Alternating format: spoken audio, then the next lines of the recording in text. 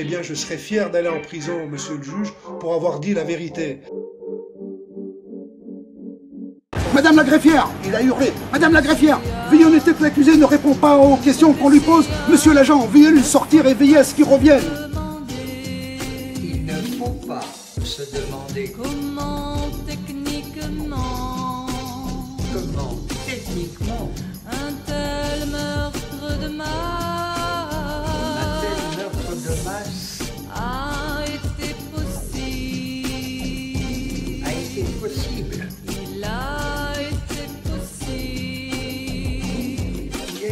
été possible Techniquement, techniquement puisqu'il a eu lieu. puisqu'il a eu lieu. Hypocrisia, hypocrisia, tel est le point de départ. Quel est le point de départ Obligé de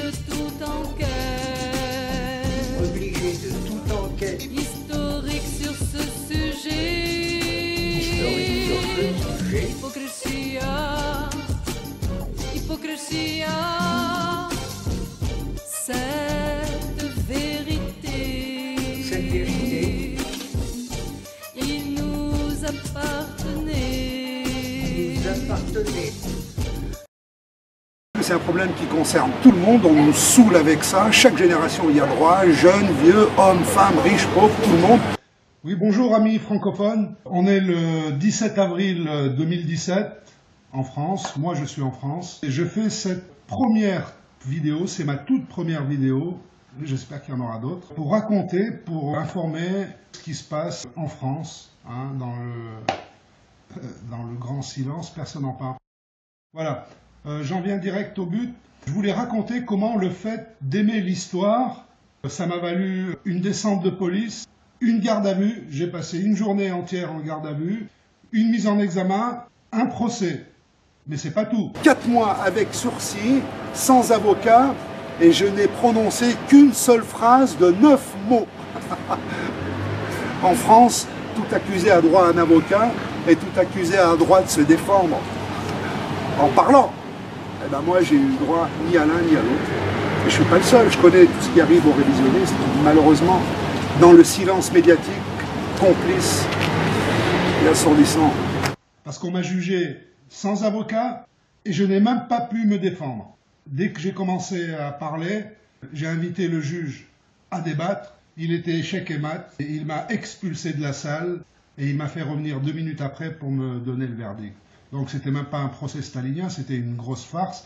innocenter Hitler de son crime le plus odieux, de son crime le plus odieux, de son crime le plus odieux, c'est bouleverser tous les repères, ébranler toutes les certitudes, y compris celle d'être dans le camp des bons, ce qui est intolérable pour la plupart des gens, et je puis le comprendre. Euh, Là, je vais être jugé en appel le 6 juillet 2017 au tribunal de Grenoble. J'ai fait appel euh, le surlendemain, ouais, très vite. ouais. En fait, c'est un message que m'envoie le, le juge, la justice, la police, le système, le CRIF en fait. C'est le CRIF qui a derrière ça. Il m'envoie le message, si tu continues à expliquer aux gens l'arnaque, tu iras en prison. Et malgré cette euh, condamnation-là, bon, il n'y a pas encore le résultat de l'appel si vous avez fait appel, vous comptez continuer à sensibiliser les gens comme vous le faites? Euh, ouais, autant que possible, tant que, vu, tant que le prix à payer ne sera pas trop, trop, trop élevé. Ouais, je continuerai. J'estime que, c'est- que la cause en vaut, en vaut la peine, c'est une bonne cause. Je dois vous dire que j'aime bien l'histoire, je voulais être prof d'histoire. J'étais ici sur la fac, d'ailleurs, dans les années 80. Euh, donc je disais j'aime l'histoire et ça me vaut d'être malmené par la police, par la justice. Pourquoi? Ben, Tout simplement parce que j'ai compris l'arnaque, premièrement, et surtout parce que j'explique ça aux gens en promenant mon chien. Voilà. Avant je le faisais sur Twitter, on m'a bloqué mes comptes hein, plusieurs fois. Alors été attaqué par, euh, par la DILCRA, tout d'abord euh, sur, sur Twitter, parce que sur Twitter, les sionistes sont très très très actifs et ils sont très organisés, il faut le reconnaître. À l'époque, les, les j'étais attaqué par la DILCRA, la, délégation interministérielle de lutte contre le racisme et, l'antisémitisme, comme s'il faut toujours séparer les deux. Et on veut nous faire croire qu y a, que l'antisémitisme est plus grave que le racisme. Et ils le disent. Gilles Clavreul le dit lui-même, le président de la DILCRA. Il te dit le, le racisme anti-arabe et le racisme anti-noir, c'est condamnable, mais ils n'ont pas la spécificité du racisme anti-juif, de l'antisémitisme. Je dis que ce mec mérite une fessée, cul nu et un bonnet d'âne au piquet. Euh, maintenant, eh ben, j'ai pris un chien, euh, je promène mon chien et j'explique aux gens l'arnaque. Entre autres, je l'ai expliqué à six collégiens et ils ont tous été convoqués par la police. Tous été convoqués par la police. C'est incroyable, c'est incroyable. À l'époque, c'était Manuel Valls qui était au- aux commandes. C'était incroyable. Comme si la police n'avait rien d'autre à faire que d'aller interroger des, collégiens à qui on parle d'histoire. Hein, c'est hallucinant. À ces collégiens, il y a d'autres personnes, je leur ai appris que, et ça pour moi ça a été une, une information choc, mais choc, je leur ai appris que j'ai appris tout ça euh, en 2012, à l'âge de 50 ans, alors que je me suis toujours int- intéressé à l'histoire. Je voulais être prof d'histoire, j'étais étudiant en histoire, mais on m'a jamais dit qu'il y avait un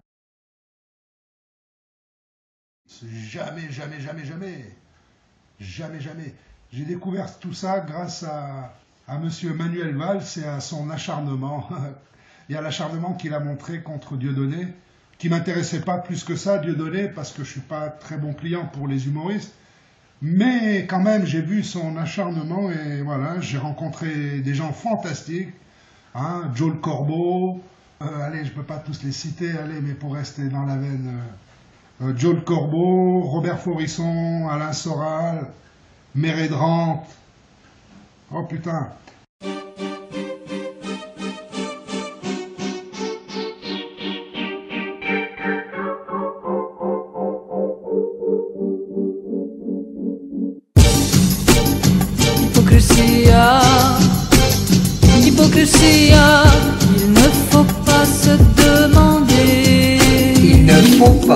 Se demander comment techniquement comment techniquement un tel meurtre de un masse tel meurtre de masse a été possible.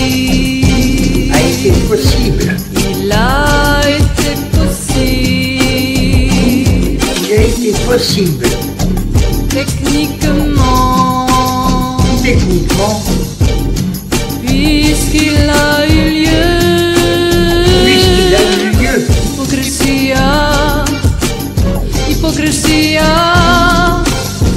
tel est le point de départ. Tel est le point de départ. Obligé de toute enquête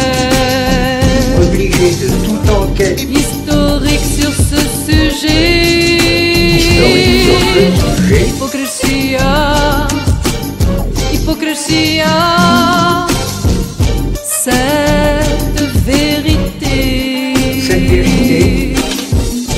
Il nous appartenait Nous appartenait de la rappeler simplement. de la rappeler Il a simplement. pas, il ne peut pas, doit pas, il n'y a pas, il ne peut pas, il ne doit pas, ne peut y avoir de débat. Il n'y a pas, il ne peut pas, il ne doit pas, il n'y a pas, il ne peut pas, il ne doit pas, ne peut y avoir de débat sur l'existence des sur l'existence des hypocrisia, hypocrisia.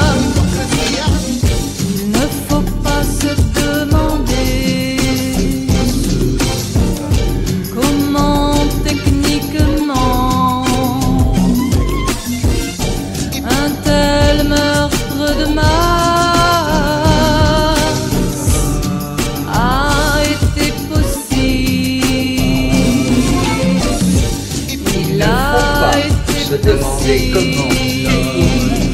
un tel meurtre de masse a été possible. Techniquement, Il a été possible techniquement puisqu'il a eu lieu.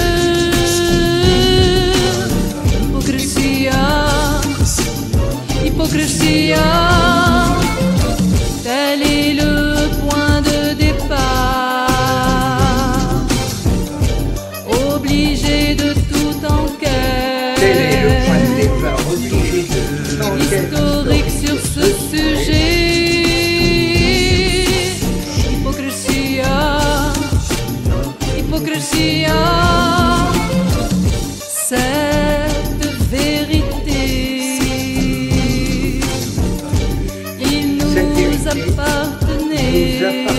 de la rappeler simplement. De la rappeler simplement. Il n'y a pas, ne y avoir ne doit pas, il n'y a pas, il ne peut pas, il ne doit pas y avoir de sur Il n'y a pas, il ne peut pas, il ne doit pas, il n'y a pas, il ne peut pas, il ne doit pas, ne peut y avoir de débat sur l'existence des sur l'existence des sur l'existence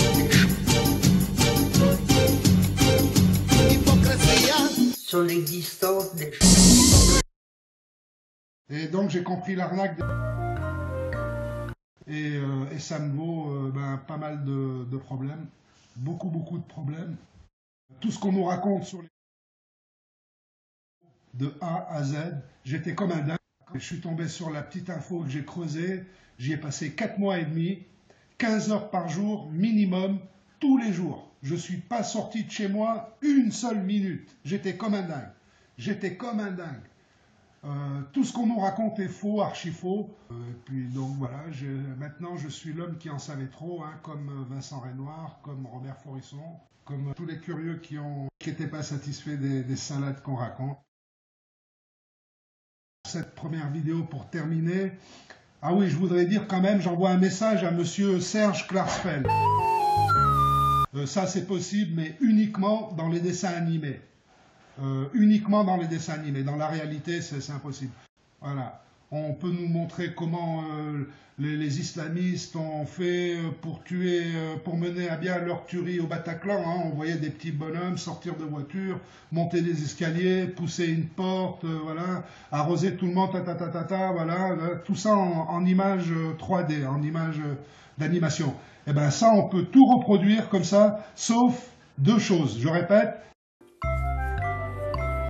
et là, je vais être jugé euh, le 6 juillet en appel, en appel, euh, alors que le procureur lui-même maintenant sait que c'est- du bidon, c'est une grosse arnaque, c'est un gros mensonge, voilà, un gros bluff. Le procureur le sait, très certainement le juge qui va me, me juger aussi, tout comme ceux qui m'ont jugé précédemment, parce que euh, sur YouTube, j'ai fait une playlist, j'ai réuni les meilleures vidéos sur le sujet. J'ai la chance de parler anglais, et Internet c'est bien en français, mais en anglais c'est on a plus d'ouverture, il y a moins de censure, les informations sont plus facilement accessibles.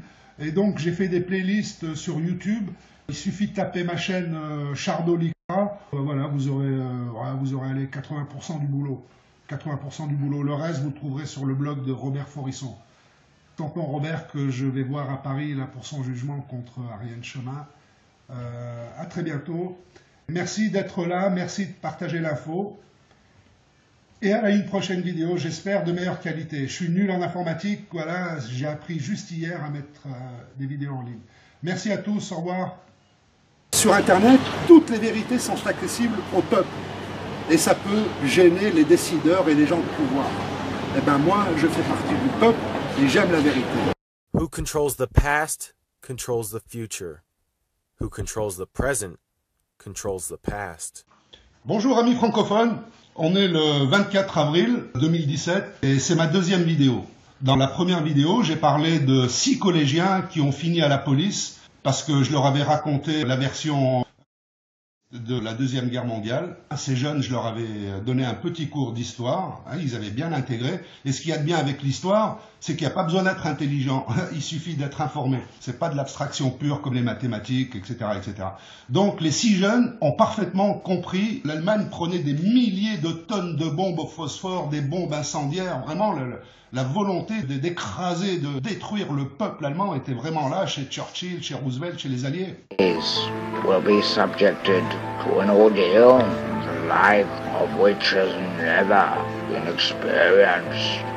A country in continuity, severity, or magnitude.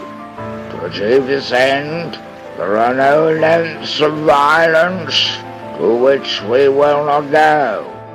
Churchill's violence was on full display during the night of July 24, 1943. To the residents of Hamburg, a city of over 1 million souls, the raid seemed initially like a standard bombing run. But soon, hundreds of enemy aircraft began raining down tons upon tons of high explosives on the very heart of Hamburg. Schools, churches, hospitals, homes, ancient art and architecture, all were blown to bits. The onslaught increased in fury with each succeeding wave of bombers, building minute by minute into a fiery, devastating crescendo. And then the planes suddenly disappeared. The skies were clear again, and all above was silent.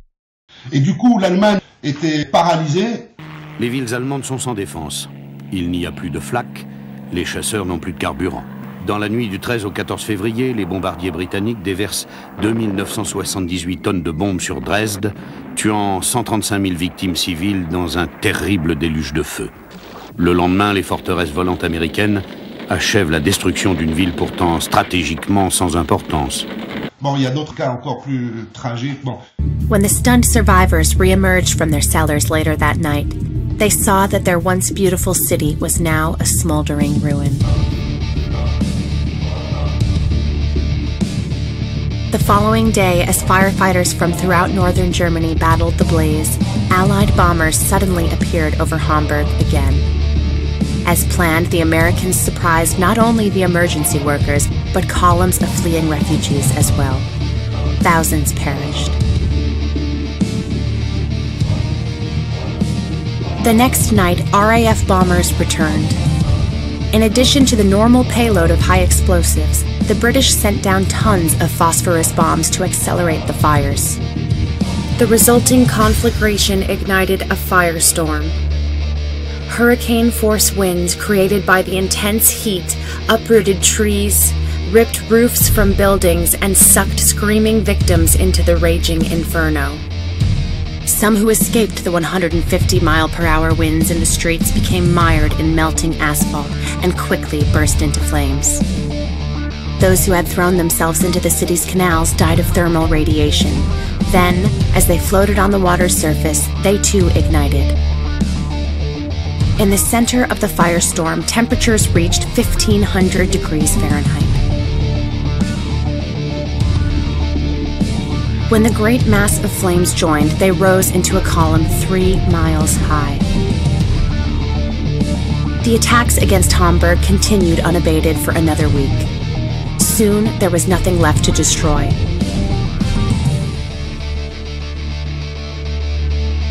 Appropriately dubbed by the Allies as Operation Gamora, the raids had been a cold and calculated attempt to scorch Hamburg and its people from the face of the earth. The plan succeeded. With 13 square miles of total destruction, the 750,000 homeless, with an estimated 60 to 100,000 dead, mostly women and children, Hamburg, for all intents and purposes, had ceased to exist. It was now clear to all that the Allied air war against Germany had become a war of massacre and terror. The pattern was repeated time and again across Germany. Hamburg, Berlin, Nuremberg, Darmstadt, Cologne, Stuttgart, Würzburg, Munich. All German cities suffered the same. After first blasting a town to splinters, the Allied bombers quickly returned in the hope of catching survivors and rescuers in the open and igniting with firebombs all that remained. When the roaring bombers released their lethal cargo, a veritable rain of fire descended upon a targeted town. The thousands of small fires would join together to form one huge blaze, creating an intense vortex of wind and flames. I struggled to run against the wind in the middle of the street. We couldn't go on across because the asphalt had melted. There were people on the roadway, some already dead, some still lying alive but stuck in the asphalt. They were on their hands and knees screaming. Some miraculously survived the inferno, reaching safety in rivers, canals, and parks. Thousands more, however, did not. When the raids finally ended and the firestorms began to recede, rescue workers rushed to free those still trapped underground.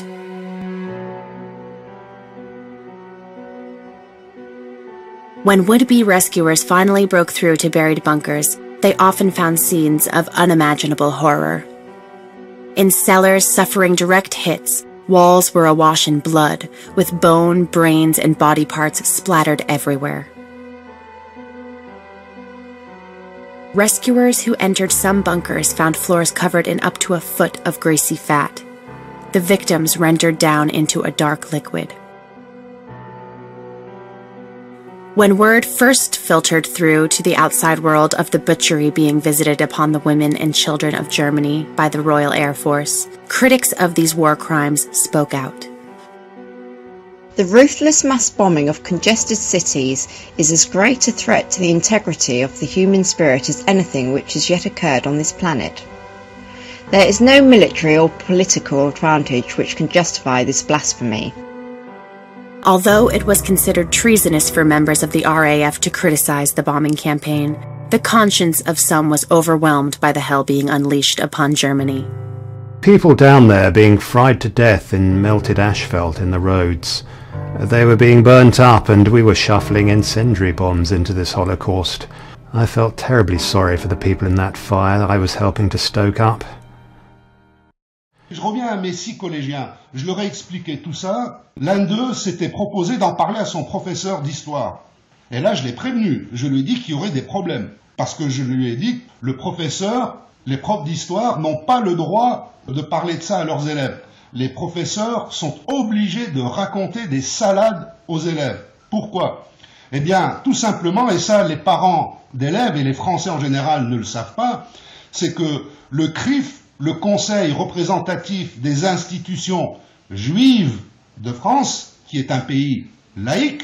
Vous savez, moi, quand j'étais étudiant, il y avait des annonces à la radio, des radios juives, pour dire si vous avez un examen pendant le Shabbat ou une fête, adressez-vous au consistoire, il vous arrangera ça. Vous savez, quand les examens, il y a un bureau qui tranche sur les dates d'examen. Il y a un représentant du CRIF à la commission. Alors, quand on dit, par exemple, bon, le concours de tel, alors on demande au représentant du CRIF, la date vous convient, 3 avril Le représentant du CRIF regarde le calendrier juif et il dit non, il y a un jour de fête. Alors on déplace. Et un jour, vous pouvez vérifier ça dans le journal aujourd'hui du 6-7 mai 2014 ou 2015. Je peux me tromper d'un an, mais je pense que c'était 2015. Vous savez, parce qu'il y a la décentralisation aujourd'hui. Donc chaque université organise ses dates d'examen. Il y a une université, je crois que c'était une fac de droit, qui avait organisé un examen le 6-7 mai. Or, le 6-7 mai, il y avait la, fête de Shavuot. C'est une fête mineure, mais il y avait quelques juifs qui devaient passer les examens. Horreur et damnation. Donc, on est intervenu auprès de la, présidence de l'université qui a décalé l'examen de 15 jours. Vous imaginez ça? Il y avait un étudiant qui avait dit, mais moi j'ai acheté un billet d'avion, je dois... Ah, tant pis, qu'est-ce que vous voulez qu'on fasse? Voilà. Voilà. C'est la parole juive, la parole du CRIF. Voilà. Le CRIF donc donne une formation aux professeurs d'histoire pour leur apprendre à enseigner ce qu'on appelle la Shoah, l'Holocauste, l'extermination des Juifs, etc. Et pourquoi le CRIF donne-t-il une formation aux professeurs d'histoire?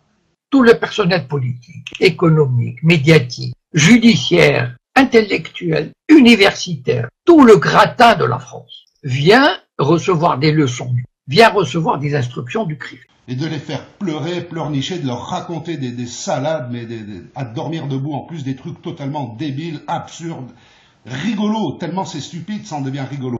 Why did you do it? Why did you tell such a big lie to so many people for so long? It wasn't a lie. It was I was my imagination.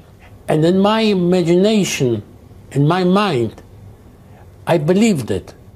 How, how can you say it wasn't a lie? It, it wasn't true, and, and you know it's not true. Yes, it's not true. But in my imagination, it was true. The Nazis used Jewish inmates, a special Sonderkommando, to remove the bodies from the uh, gas chambers and taking the bodies into the uh, crematoria. As far as I know, there is only four of us that worked in the Sonderkommando alive today. And we are the only eyewitness that saw the, the whole thing from A to Z, how the final solution was done. I had two friends of mine, very close friends of mine. They came in, you know, the names were the Venezias. And uh, I told them right away that they were going to die, you know, and they asked for food and whatever I had, I gave them, I gave them to eat, and I told them exactly where to keep themselves, where the openings were, so they can die fast. And after they they were through, I took them out and I washed them and I put them in the oven to be burned. These are Dario's two cousins, Morris and Shlomo Venezia, who also claim they were Sunder commandos. Dario's brother also claims to have been a Sunder commando, but died before this BBC show was filmed. The official story claims that the Sunder Commando, as the most important witnesses to the so called final solution, were periodically killed to ensure that they wouldn't survive to testify.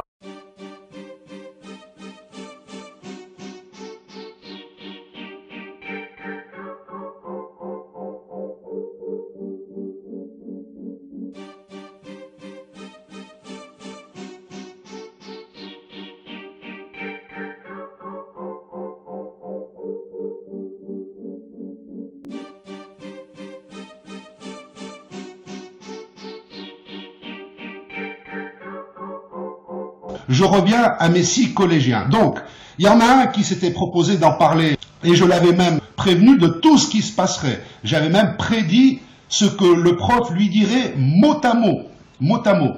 Et là, il y a une scène que je tenais à partager avec vous parce qu'elle est vraiment, mais fantastique, fantastique. Et j'aurais bien aimé que Alain Finkielkraut l'apprenne. Alors si quelqu'un parmi vous a, la possibilité de contacter Alain Finkielkraut, ça serait cool qu'il lui envoie cette vidéo. Moi je suis une merde en informatique, je ne saurais pas faire.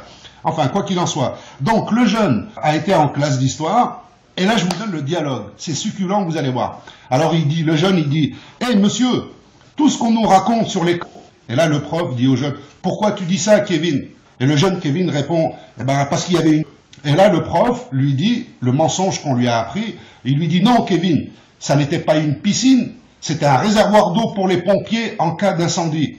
Ah, mais manque de bol pour le prof. Le jeune a vu la piscine. Il a vu la vidéo de la piscine chez moi. Et il répond, c'est pas vrai, monsieur. C'était une vraie piscine parce qu'il y avait des plongeoires. Et les pompiers, ils n'ont pas besoin de plongeoires. Là, le prof, il était désarçonné. Putain, tu fais chier la merde, hein et il revient à la charge. Et il lui dit, écoute Kevin. Et là, le jeune Kevin répond, c'est pas vrai, monsieur, parce qu'en plus de la piscine, ils avaient un... Parce que du point de vue historique, il n'y a rien. Il n'y a absolument rien. Serge Klarsfeld. La stratégie des Forissoniens, c'est de brandir la moindre imprécision pour réduire à néant les témoignages. C'est pourquoi nous nous apprêtons à éditer un ouvrage monumental de Jean-Claude Pressac sur Auschwitz-Birkenau, ce camp qui a été le plus grand abattoir jamais inventé et où ont été gazés quelques 1,3 million de juifs. Le livre représente sept ans de recherche et constituera enfin la preuve des preuves. VSD. Parce qu'il n'y avait pas encore de vraies preuves Serge Klarsfeld. Il y avait des débuts de preuves qui embarrassaient les Forissoniens, mais ne les avaient pas encore réduits au silence. Notamment deux lettres analysées par George Wellers et datant de 1943, qui parlaient l'une d'une cave à gazage, l'autre de trois portes étanches au gaz à poser dans les crématoires. Seulement, face à des gens aussi pointilleux que les révisionnistes, il faut des documents imparables. VSD du 29 mai 1986, page 37. 40 ans après Nuremberg Et 4 ans avant le Guesso, comment est-ce qu'on peut dire des choses pareilles? Hein? Et je répète, ce qu'on appelle, c'est en fait le pouvoir, le barouf médiatique hollywoodien couplé à la montée en puissance du lobby sioniste en France. C'est rien d'autre. Maintenant, je voulais vous faire part de mon cas plus personnel. Alors, je m'appelle je suis né à Tunis en 1962. Je suis totalement athée. Je suis venu en France en 1969 et quand j'étais petit à l'école, tout de suite, je sais pas pourquoi, j'ai adoré l'histoire. J'adorais quand la maîtresse nous parlait de des rois de France, de Jeanne d'Arc, hein, Saint-Louis qui rendait la justice sous le chêne. Hein, il n'a pas inventé l'école et il n'avait pas de barbe. Mais ça, c'est des petits mensonges qui mangent pas de pain. C'est pas comme, euh, comme et donc je suis athée, je vis en France depuis 1969 et je suis toujours de nationalité tunisienne. Je suis tunisien de papier. J'ai donc une carte de résident, euh, résident privilégié, valable 10 ans. Et depuis que je suis en France, eh ben, je la renouvelle tous les 10 ans. Mais là, depuis que j'ai compris l'arnaque euh, et, et surtout depuis que je l'explique aux gens, eh ben, je suis fiché S. Je suis fiché terroriste. Terroriste. Je suis fiché terroriste. Et ce qui est grave pour moi, ce qui risque de me compliquer vraiment, vraiment, vraiment la vie, c'est que en juin 2016, ma carte de résident euh, était périmée. Et j'ai fait une demande de renouvellement, ce qui habituellement prend 2-3 semaines. Mais là, ça va bientôt faire un an. Un an que j'ai fait ma demande de renouvellement et je n'ai toujours rien. On me donne des récipicés valables 4 mois. En fait, ce que ceux qui veulent faire, ce que le système veut, ce que le CRIF, parce que c'est le grand patron en France, hein, c'est le CRIF surtout pour ces questions-là, ce qu'ils veulent, c'est attendre qu'il y ait une loi qui permettrait d'expulser les, les fichiers S. Voilà, les fichiers S étrangers résidant en France. Moi, je suis terroriste, je suis fichier S, tout simplement parce que je suis amateur d'histoire et j'ai appris ce qu'on ne doit pas apprendre et je révèle aux gens ce que les gens ne doivent pas savoir. C'est la seule raison pour laquelle je suis fiché S et là je risque d'être expulsé. Dès qu'il y aura une loi, on m'expulsera. Ça fait 35 ans que j'ai pas mis les pieds en Tunisie. La dernière fois que j'y étais, c'était en 1982. J'ai assisté euh, à ces événements tragiques, là, terribles, qui m'ont choqué, impressionné. C'était les fameuses euh, les émeutes du pain. Et j'ai vu comment le, gouvernement, comment le, traiter la population là-bas. Il y avait des, morts et tout. Alors, depuis ce jour-là, je me suis juré de ne plus jamais retourner en Tunisie. Et puis voilà. Et donc c'était le cas. J'étais au Maroc, j'étais euh, en Inde, euh, j'étais dans plusieurs pays, mais je ne vais pas en Tunisie. Voilà. Et là, je risque d'être expulsé parce que fiché terroriste, j'ai compris l'arnaque des et eh ben, euh, je vous remercie pour cette euh, deuxième vidéo. Merci d'être là. Merci de partager. Et à la prochaine. Au revoir. Because let me tell you, very few Polish officers who got into the clutches of Stalin's NKVD are around to flash their numbers. They're in mass graves, somewhere in the forest of Russia. Sur Internet, toutes les vérités sont accessibles au peuple et ça peut gêner les décideurs et les gens de pouvoir. Eh bien moi, je fais partie du peuple et j'aime la vérité. Euh, Michel Onfray m'a appris cette euh, très belle déclaration, hein, euh, très réglo, hein, de Euclide, hein, un ancien philosophe grec, qui nous a dit « Ce qui est avancé sans preuve peut être nié sans preuve ». Voilà, c'est dur de ne pas adhérer à ça. Ce qui est avancé sans preuve peut être nié sans preuve. Et en 2014, Michel Onfray a déclaré sur France Culture On peut croire aux chambres à gaz malgré l'absence de preuves.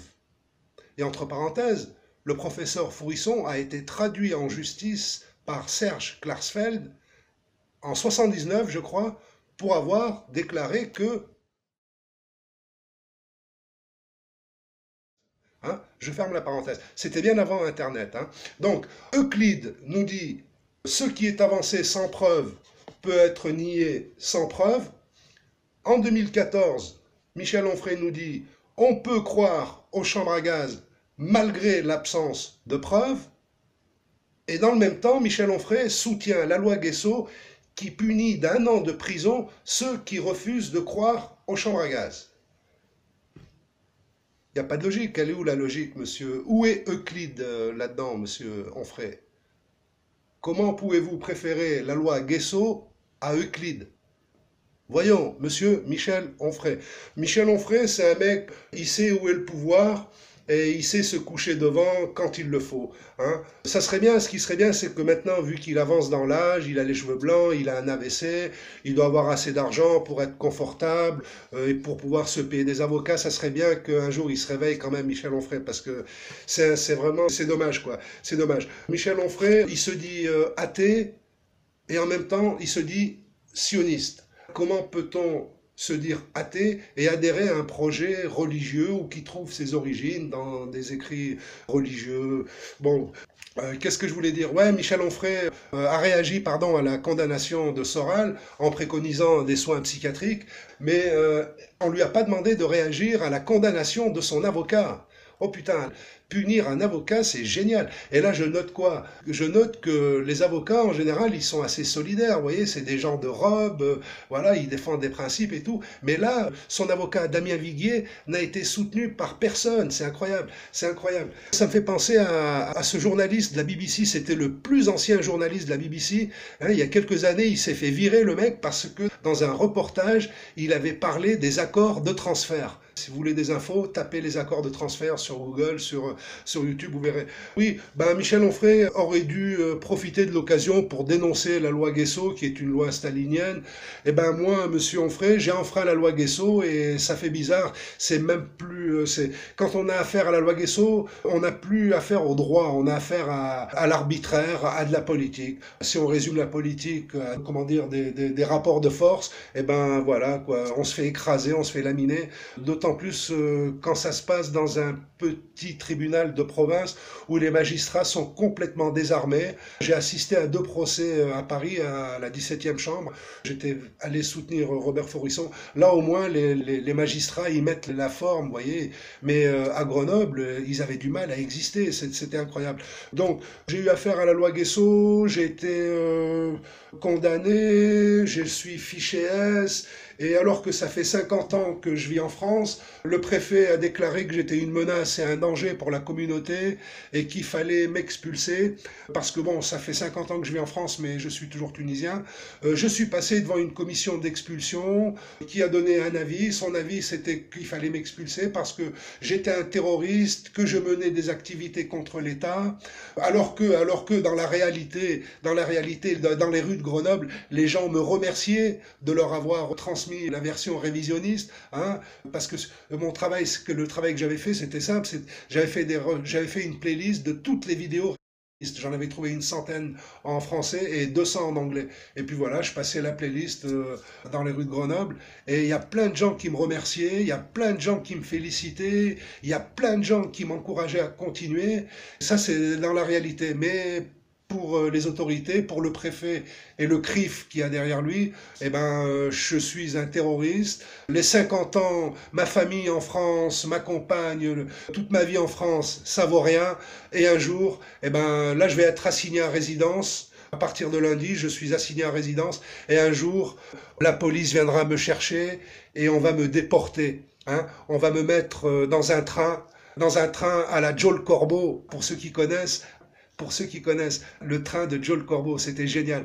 Allez, eh ben merci à tous et puis dès que je suis en Tunisie, la question c'est de reprendre le combat. Voilà, je vais mourir révisionniste militant. En France, j'étais prêt à aller en prison, c'est ce que j'ai dit au tribunal euh, en appel, à mon procès en appel. Le, pauvre juge qui était malheureux comme tout en appel, oh là là, le pauvre juge me mettait en garde, me disait qu'en cas de récidive, j'irais certainement en prison pour au moins huit mois.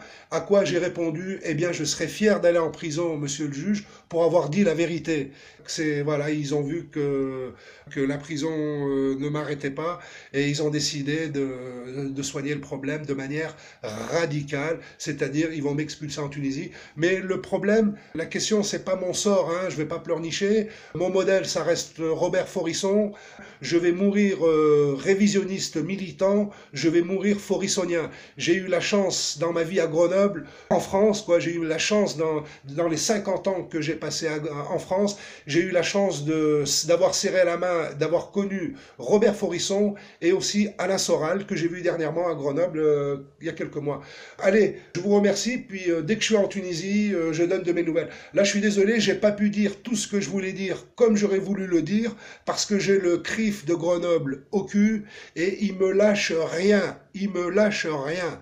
Putain, moi je m'étais dit, j'ai pas grand chose à perdre, je peux aller en prison, au pire je ferai des, je donnerai des cours d'histoire en cours de promenade, au tolard et tout. Mais bon, ils m'ont pris toute ma vie, mais c'est pas grave, c'est pas grave. Le problème, la question, c'est comment rebondir et comment reprendre le combat. Ciao mes amis, au revoir.